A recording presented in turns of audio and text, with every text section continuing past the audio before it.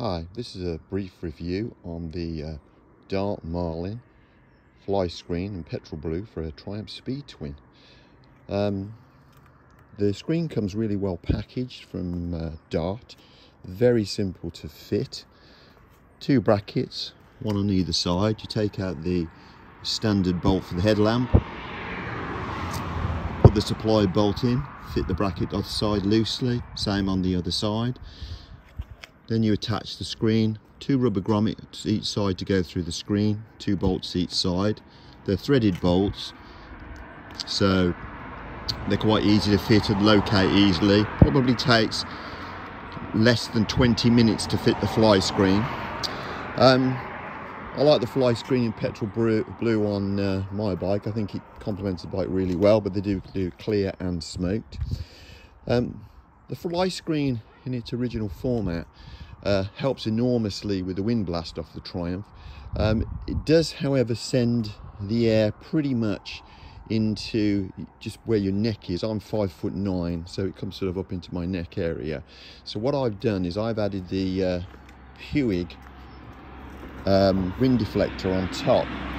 Again, this was not cheap, about 40 pound from Puig. You can get it off Amazon and wherever. Makes a big difference. It's fully adjustable the little plastic insert that comes and goes into this onto the screen. Then it just uses two Allen bolts to bolt on. And I've messed about with this on the dual carriageway for a bit now. And this is the height that suits me. And it sends the wind blast pretty much sort of into your visor or slightly over the top of your head. You can't get it fully over the top of your head. It's sort of 70 miles an hour, but it makes a massive difference on the Triumph. A lot more comfortable to ride at sort of highway speeds. Um, so I definitely recommend the two together.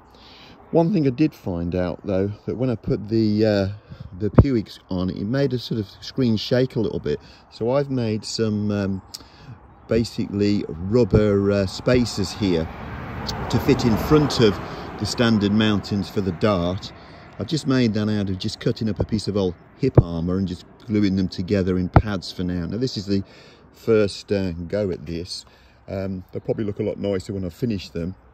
They're just basically using the pressure between the clocks and the screen to wedge it into place, but it does make it a lot, a lot less vibration, so improves it a little bit. Um, again, I'll make them a little tidier and smaller, uh, probably on my second or third attempt, but uh, doesn't need them unless you put the Puig on. But I think with the Puig on, it just makes it shake that little bit. Um, so overall, a really nice product, very well put together easy to fit.